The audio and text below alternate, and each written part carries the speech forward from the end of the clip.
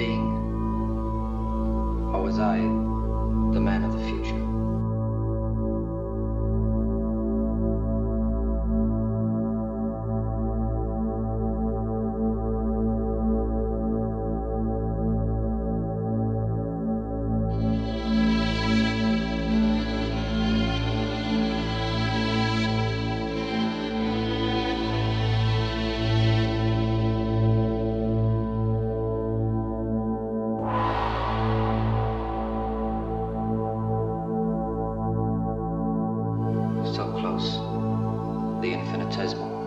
The infinite.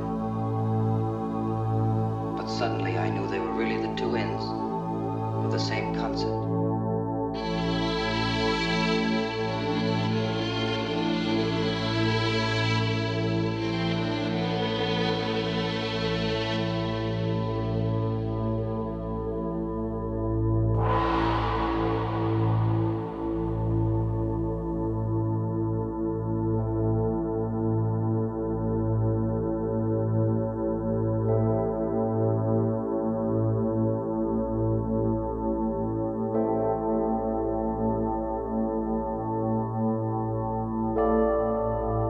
The unbelievably small and the unbelievably vast eventually meet like the closing of a gigantic circle.